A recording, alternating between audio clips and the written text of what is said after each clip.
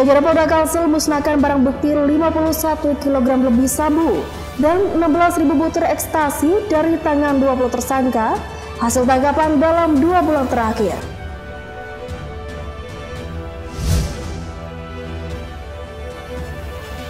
Tanaman vanili yang biasanya hanya tumbuh di dataran tinggi, kini mulai dibudidayakan di tanah laut.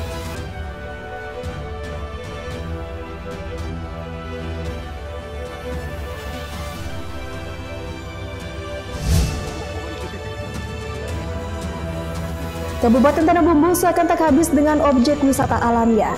Salah satu yang terbaru yakni objek wisata Gunung Sikala Putri di Desa Mantewe, Kecamatan Mantewe.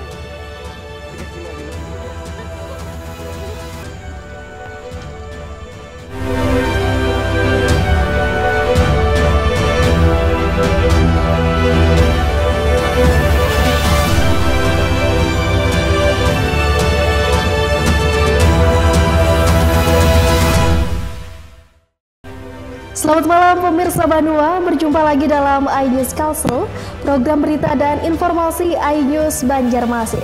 Ketiga laporan tadi dan sejumlah berita penting lainnya telah kami siapkan untuk Anda.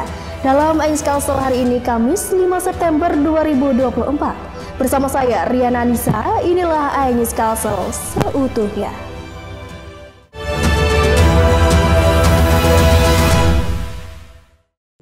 Jajaran Polda Kalsel musnahkan barang bukti 51 kg lebih sabu dan 16.000 butir ekstasi dari tangan 20 tersangka. Hasil tangkapan dalam dua bulan terakhir. Pemusnahan dilakukan dengan cara di blender dan kemudian dibuang ke saluran limbah. Sebanyak 51 kg barang bukti narkoba jenis sabu dan 16.000 butir ekstasi serta serbuk ekstasi seberat 173,74 gram dimusnahkan jajaran Polda Kalsel di Mako Polda Kalsel, Banjarbaru, Rabu siang. Pemusnahan dipimpin Kapolda Kalsel Irjen Pol Winarto, didampingi Wakapolda Brigjen Rosyanto Yuda Hermawan dan dihadiri unsur Forkopimda Kalsel. Semua barang bukti dimusnahkan dengan cara di blender dan kemudian dibuang ke saluran limbah. Barang terlarang ini hasil tangkapan jajaran di Tres Narkoba Polda Kalsel periode Juli hingga Agustus 2024. Sebanyak 16 kasus dengan jumlah tersangka 20 orang. Kapolda Kalsel Irjen Pol Winarto mengatakan, dari pengungkapan ini pihaknya mengklaim berhasil menyelamatkan 270 ribu lebih jiwa dari penyalahgunaan narkoba. Selain itu, barang haram tersebut diketahui masih ada kaitannya dengan jaringan Freddy Pratama yang saat ini merupakan buronan Interpol. Ini uh, masuk dari wilayah uh, provinsi tetangga masuk wilayah kita. Iya, masuk jaringan internasional dari hasil ini kita ini berasal dari uh, Malaysia. Iya, ada yang Freddy, ada yang bukan. Polda Kalsel serta pemerintah kembali menghimbau masyarakat untuk bersama-sama untuk memerangi narkoba. Tanpa adanya bantuan informasi dari masyarakat, kasus narkotika akan sulit diungkap. Dari Banjarbaru, M. Ahyar iNews melaporkan. Pasca terbakar pada Selasa kemarin, pihak Perumda Pasar Bauntung Batua Martapura meminta kepada semua pedagang agar memperhatikan kabel listrik di semua toko. Pasalnya beberapa kali terjadi musibah kebakaran di kawasan pasar. Besar dugaan disebabkan oleh arus pendek listrik. Tidak ingin kejadian yang sama terulang kembali, pihak pengelola pasar Perumda Bauntung Batuah Martapura himbau para pedagang agar memperhatikan kabel listrik yang ada di toko mereka. Pasalnya beberapa musibah kebakaran yang terjadi di kawasan pasar disebabkan oleh korsleting listrik. Terbaru pasar pakaian Musafir yang diamuk si jago merah diduga disebabkan oleh arus pendek listrik. Humas Perumda Pasar Bauntung Batuah Gusti Andre mengatakan, pihaknya meminta agar semua pedagang melakukan pengecekan terhadap saluran listrik di toko mereka dan mengganti kabel-kabel listrik yang tidak standar maupun yang sudah lama. Sedangkan untuk perbaikan toko yang terbakar, Andre mengaku saat ini masih dirapatkan di pihak internal Perumda Pasar Bauntung Batuah. Himbau kepada para pedagang untuk melakukan penertiban terhadap uh, apa jaringan listrik tersebut. Nah, alhamdulillah sudah melakukan. Nah, kapan itu diperbaiki, uh, kita sudah dari pihak manajemen sudah melakukan rapat. Mudah-mudahan nanti ada secepatnya lah dilakukan. Diketahui musibah kebakaran kembali menghanguskan bangunan toko pakaian di Pasar Bauntung Batuah pada Selasa kemarin. Tidak ada korban jiwa dalam kejadian itu, namun kerugian mencapai ratusan juta rupiah. Dari Kabupaten Banjar, Sairi Ainus melaporkan. Ya pemirsa, masuknya rute bus Trans Banjar Bakula atau Tayo Hijau mendapat sambutan warga Kabupaten Tanah Laut. Hanya saja bagi warga yang datang dari luar kota Pelaihari sempat kebingungan karena tidak ada angkutan lain yang datang setiap saat membawa mereka dari Terminal Sumarsono di Desa Ambungan menuju kota Pelaihari. Inilah suasana Terminal Sumarsono, Desa Ambungan sejak beroperasinya bus Tayo Hijau untuk melayani warga tanah laut yang ingin bepergian menuju Banjarmasin dan Banjarbaru. Meski belum ramai, sudah terlihat warga yang memanfaatkan jasa angkutan umum yang melayani koridor 4 terminal kilometer 17 Gambut menuju Bati-Bati dan diperpanjang hingga ke Terminal Sumarsono di Desa Ambungan, Kecamatan Plehari. Mereka menganggap bus yang beroperasi dengan skema pembelian layanan by the service atau BTS itu mempermudah mereka bepergian. Bahkan ada pegawai yang setiap hari ke Banjarbaru pada pagi hari dan pulang lagi sore harinya. Adanya Tayu ini sangat membantu dengan masyarakat tanah laut untuk menghubungkan kabupaten yang lain. Iya betul dari sini dan itu dengan biaya yang cukup terjangkau dengan masyarakat. Kemudahan masuknya angkutan umum bus Trans Banjar Bakula ini juga diakui warga asal Banjarmasin. Hanya saja ia sempat kerepotan untuk melanjutkan perjalanan dari terminal di Ambungan menuju kota Plehari.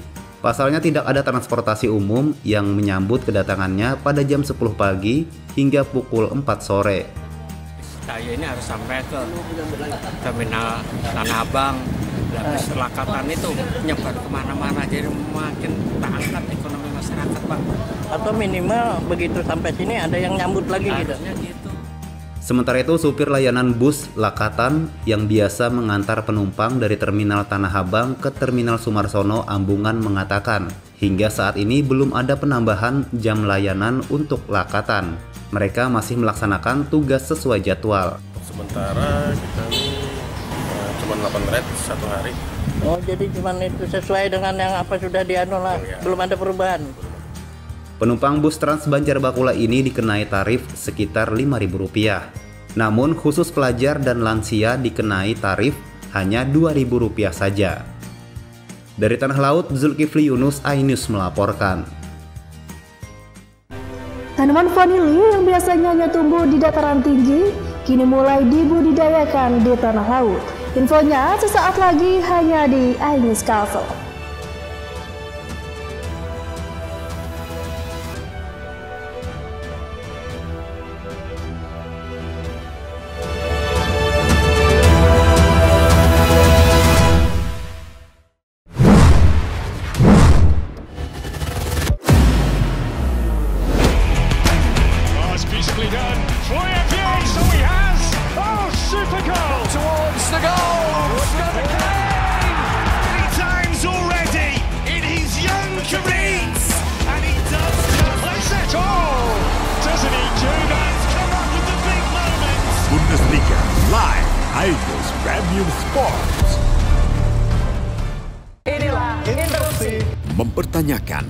Keadilan.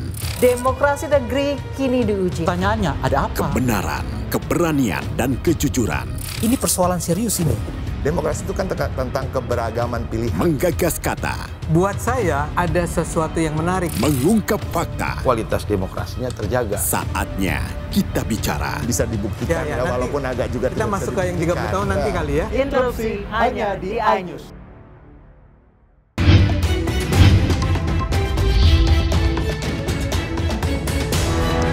Pilkada 2024 Senin sampai Jumat pukul setengah satu siang live di iNews. The Great Prime Time. Upaya saya untuk melacak TKP. Di Setiawan. Kelihatan Tiga tidak kematian. Adalah kesaksian dan yang pertama dan eksklusif mengalami kekerasan. 70 kilo itu besar. Meluruskan apa yang kusut. Ada persoalan hukum. Bersama saya, Abraham Silaban. AB Plus, setiap Senin pukul 8 malam. Hasilnya nanti akan berbeda? Tidak mungkin ini. Liga tidak mengetahui sama sekali kejadian itu. Runding di sini kan untuk mencari solusi. Saya Aiman Wicaksono, inilah. Rakyat bersuara, Selasa pukul 7 malam.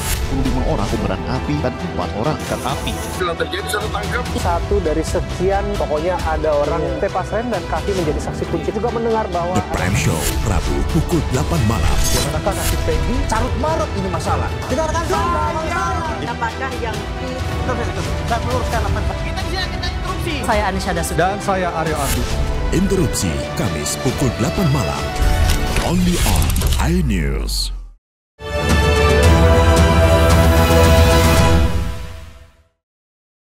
Terima kasih pemirsa, tetap bersama kami. Pemirsa, tanaman vanili yang biasanya hanya tumbuh di dataran tinggi, kini mulai dibudidayakan di tanah laut. Meski secara geografis tanah laut termasuk dataran yang rendah, namun tanaman berasal dari Meksiko tersebut mampu tumbuh dengan baik. Saat ini sudah ada 9 warga tanah laut yang membudidayakannya. Igede Mahardita merupakan salah satu warga di kota Playhari yang mencoba membudidayakan tanaman vanili di Kabupaten Tanah Laut. Tumbuhan dataran tinggi yang memiliki nama ilmiah Vanilla planifolia ini tumbuh subur sejak ditanamnya sekitar 8 bulan yang lalu. Padahal Kabupaten Tanah Laut termasuk daerah daratan rendah. IGD Mahardita yang juga merupakan seorang dokter spesialis anak di salah satu rumah sakit di Playhari ini mengakui dirinya tertarik membudidayakan vanili karena harga jualnya yang menggiurkan. Saat ini pasaran vanili untuk yang masih basah dihargai sekitar Rp350.000 per kilogram. Sedangkan untuk yang sudah kering dijual dengan harga 5 hingga 7 juta rupiah per kilogramnya. Selain berkebun vanili di samping ruang praktiknya, Igede juga berkebun vanili di desa Batilai dengan jumlah sekitar 2000 pohon. Menurutnya, satu pohon vanili mampu menghasilkan vanili basah sekitar 5 ons per panen. Uh, lumayan menggiurkan. Saya coba konsultasi dengan beberapa orang yang sudah bergelut, lama bergelut. Dan ternyata memang ada di daerah dengan ketinggian apa daerah pantai hampir yang hampir sama dengan uh, daerah kita uh, berhasil juga me, apa membudidayakan vanili. Ya. ya tantangan itu saya coba terapkan gitu. Saya coba aplikasikan di sini. Ternyata tumbuh gitu Selain Igede Mahardita, saat ini di Tanah Laut sedikitnya ada delapan orang lainnya yang juga membudidayakan vanili. Kesembilan pembudidaya tersebut membentuk komunitas untuk mengajak warga yang berminat membudidayakan vanili bahkan mereka siap membantu membagi bibit. Dari Tanah Laut, Zulkifli Yunus, iNews melaporkan. Sementara itu, tergiur dengan harga jual jambu kristal yang cukup tinggi, seorang petani pepaya di tanah laut mengubah haluan untuk membudidayakan jambu kristal di lahan miliknya. Alhasil, saat ini hampir setiap hari kebun jambu kristal miliknya selalu dikunjungi warga untuk membeli sekaligus memetik langsung dari pohonnya.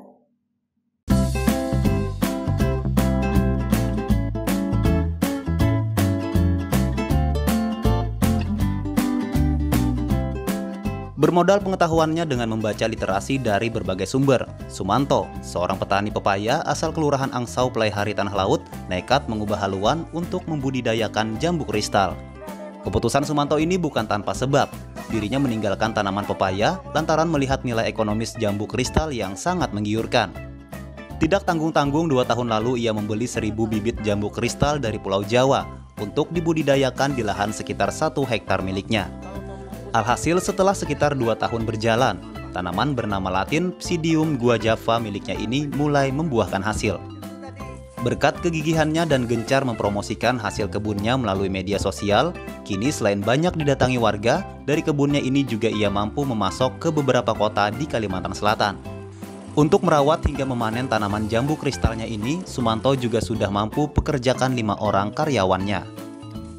saya kan nanam pepaya pak hmm. saya menanam pepaya saya mempelajari pepaya sampai dengan saya ketemu pangsa pasar pepaya sehingga waktu itu saya mau nanam dalam jumlah yang banyak hmm.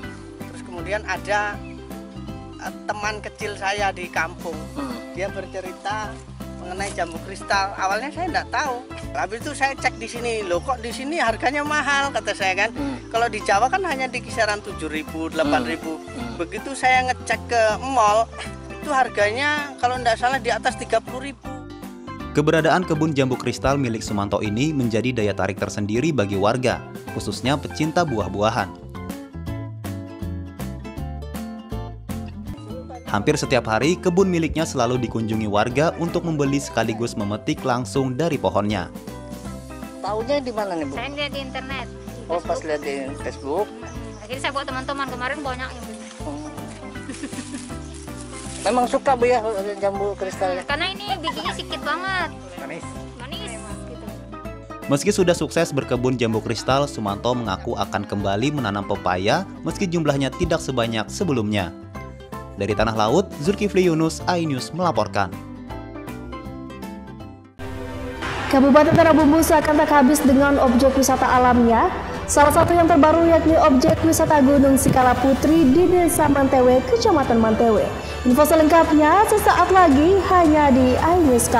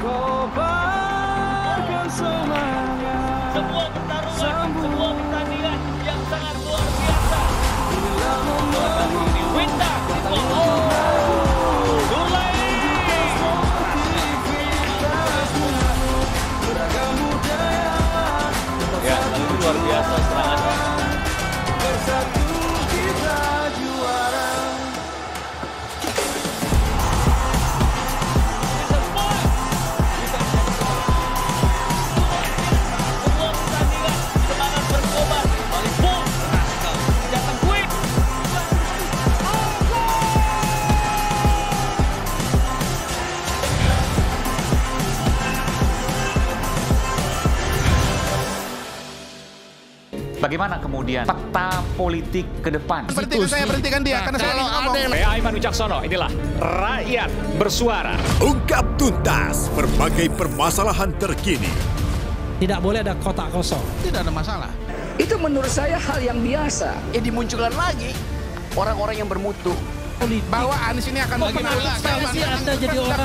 Rakyat Bersuara, Selasa pukul 7 malam, live di iNews tahapan Pilkada 2024.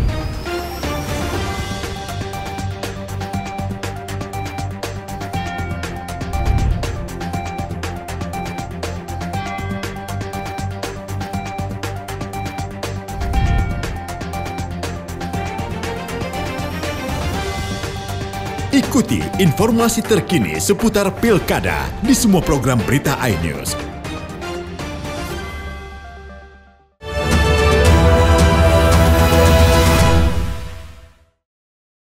Pemirsa Anda masih di iNews Castle.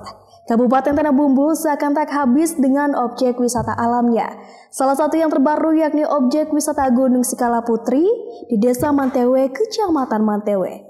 Objek wisata ini tawarkan pesona keindahan pemandangan dari ketinggian dan sejumlah spot menarik untuk dikunjungi wisatawan. Seperti apa keseruan berwisata ke lokasi ini? Berikut liputannya.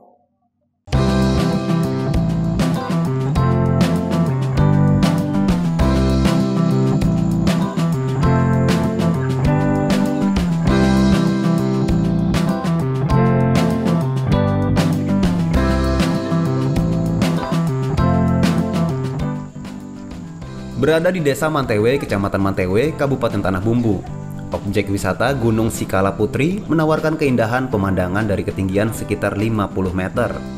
Sejumlah spot menarik yang dimiliki objek wisata ini juga memanjakan pandangan mata bagi wisatawan yang mengunjungi tempat ini. Dimulai dari kaki gunung Sikala Putri, terhampar padang rumput yang kerap dimanfaatkan para pemuda untuk melakukan aktivitas camping dan berkemah, sambil menikmati pemandangan sungai yang berada di samping menambah keindahan lokasi ini. Bagi Anda yang ingin mencapai puncak Gunung Sikala Putri, terlebih dahulu menapaki jalan menanjak berbatu. Dalam perjalanan menuju puncak Gunung Sikala Putri, wisatawan akan melewati beberapa spot menarik untuk beristirahat sejenak. Spot pertama telah disiapkan bangku panjang berbahan kayu, agar wisatawan bisa bersantai sebelum menapaki lebih tinggi menuju spot lainnya hingga mencapai puncak. Kemudian setelah melanjutkan pendakian, beberapa meter terdapat spot sarang burung. Di spot ini Anda akan merasa seakan berada di sebuah sarang burung di atas pohon. Serta spot ini juga memberikan wisatawan keleluasaan menikmati pemandangan pegunungan dan hamparan perkebunan sawit yang luas. Setelah puas, Anda bisa kembali melanjutkan pendakian untuk menuju spot sarang laba-laba. Sebuah jaring laba-laba besar terbuat dari tali berukuran besar, menyangkut antara bebatuan. Anda bisa bersantai dengan merebahkan tubuh seakan-akan terjebak dalam jaring laba-laba. Mendaki lebih tinggi barulah kita sampai pada puncak Gunung Sikala Putri yang menyajikan keindahan pemandangan dari ketinggiannya. Hal ini tentu membayar lunas rasa penat setelah jauh mendaki. Belum kak, ini first time pertama kali ke sini dan pemandangannya bagus banget sih, sebagus itu emang. Harapkan wisata di Tanah Bumbu khususnya di Mantewe semakin berkembang terus juga nanti akan menyerap wisatawan untuk hadir ke Mantewe dan khususnya di Gunung Sikala Putri ini kak. Sini menurut Mbak yang paling bagus apa nih spotnya? Yang paling bagus nih justru spot di sini kak. Jadi itu ada ada sarang burung di situ terus ini juga ada gazebo gazeboan di sini jadi bisa santai kak. Bisa sama keluarga gitu kak ke sini naik ke sini lumayan capek sih nih sampai ngos-ngosan. Fasilitas kita ada gazebo di sini ada tempat apa tempat MCK dan ada juga apa warung-warung UMKM lah intinya gitu loh. Nah untuk keamanan eh, pengunjung yang naik ke puncak itu ada disiapkan apa? Ka- kalau yang untuk naik ke puncak itu ada nanti pemandunya. Nah kita sediakan ada pegangannya kan artinya naik mungkin harus dipandu lah naiknya gitu loh. Nah, bagi Anda yang sudah penat dengan aktivitas di perkotaan, tak salahnya untuk mengunjungi objek wisata Gunung Sikala Putri. Dapat dipastikan Anda akan dimanjakan dengan spot yang indah wisata ini. Dari Tanah Bumbu, Zainal Hakim, Ainus melaporkan. Asik dan seru mungkin itulah yang dapat digambarkan saat berkunjung ke Sungai Alut di kilometer 60 Kecamatan Mantewe, Kabupaten Tanah Bumbu. Di tempat ini Anda bisa melakukan river tubing atau aksi menyusuri sungai yang mengalir dengan kantong udara besar dan pelampung. Selain itu, hijaunya hutan dan pegunungan batu raya di sepanjang rute bakal memanjakan mata Anda. Bagaimana keseruannya? Berikut liputannya. Yeah.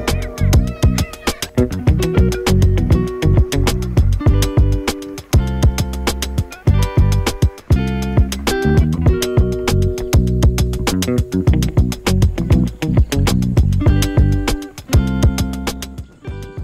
Anda ingin melakukan river tubing atau melakukan aksi menyusuri sungai yang mengalir dengan kantong udara besar atau pelampung, mungkin bisa mencobanya di Sungai Alut, kilometer 60 Kecamatan Mantewe, Kabupaten Tanah Bumbu.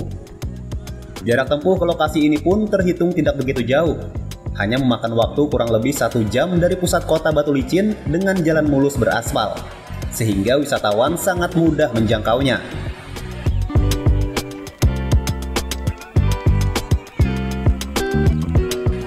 Aksi river tubing di tempat ini terbilang aman karena fasilitas pengaman yang digunakan wisatawan juga lengkap. Bermain river tubing sangat mengasihkan dan seru, terlebih dengan air yang mengalir deras dan jernih. Disuguhkan hijaunya hutan dan pegunungan batu raya di sepanjang rute bakal memanjakan mata Anda. Salah satu wisatawan asal Batu Licin mengungkapkan puas berwisata di Sungai Alut. Rasa lelahnya selama berpetualang terbayarkan dengan keindahan dan eksotis di tempat ini. Hal senada juga diungkapkan pengunjung asal Kecamatan Simpang 4. Menurutnya wisata ini layak dikunjungi karena menyuguhkan keindahan alam dan wahana wisata yang menantang. Namun sangat aman untuk anak-anak karena airnya hanya sebatas pinggul orang dewasa. Baru-baru aja sih. Dari mana taunya? Taunya dari tetangga-tetangga pada banyak datang ke sini. Ah. Apa nih yang menjadi keistimewaan di tempat uh, wisata air nih? Karena jarang ada sungai yang luas kayak gini kan, terus dalam. Uh, terus nggak terlalu jauh juga dari rumah.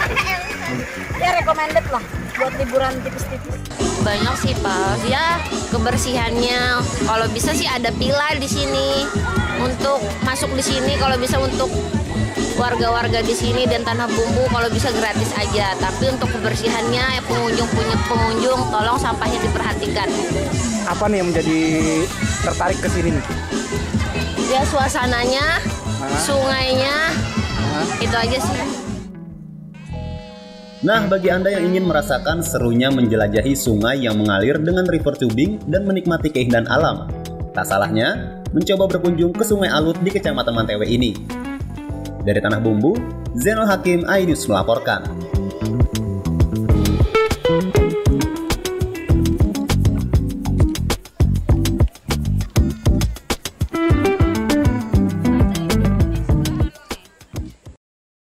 Ya pemirsa, Pantai Sungai Loban Indah di Desa Sungai Loban, Kecamatan Sungai Loban, Kabupaten Tanah Bumbu, layak menjadi objek wisata alternatif liburan menarik bersama keluarga. Karena objek wisata ini selain murah, juga memiliki panorama keindahan pemandangan yang tidak kalah menarik dibandingkan objek wisata lainnya. Bagaimana keseruan berwisata di pantai ini? Berikut liputannya untuk Anda.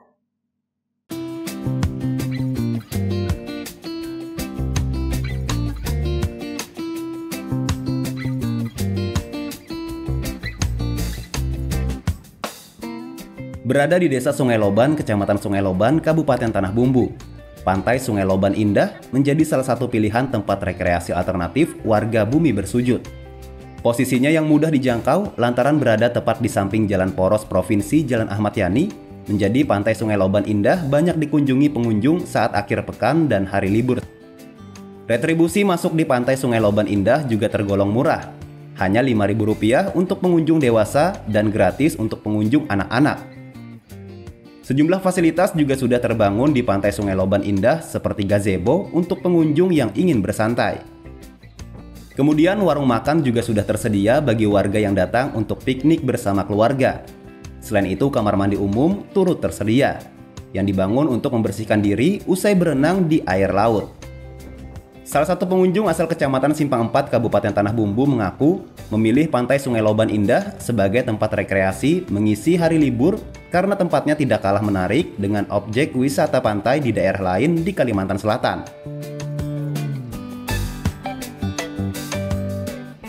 Anu main pasir-pasiran dan main bola. Ah, asik nggak? Asik. Hmm, terus mana bagus nggak pantainya? Bagus. Hmm, aman dah gelombangnya? Aman. Aman lah. Sama siapa aja tadi? Sama itu, saudara. Bagus nggak pasirnya? Pas. Bagus. Hmm, bagus. Ya. Jadi tempat untuk bermain enak ini ya. Ya enak. Pengen lagi nanti ke sini.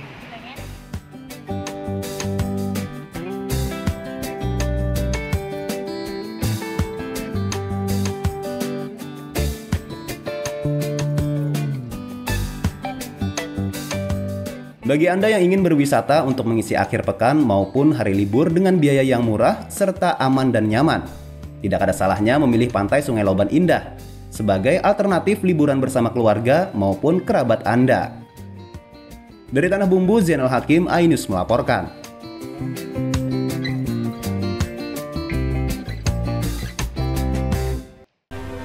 Informasi tadi sekaligus mengakhiri perjumpaan kita hari ini. Sesaat lagi kami akan bergabung dengan iNews Jakarta. Saya Riana Anissa dan seluruh kerabat kerja yang bertugas mengucapkan terima kasih atas perhatian pian sabarataan dan sampai jumpa.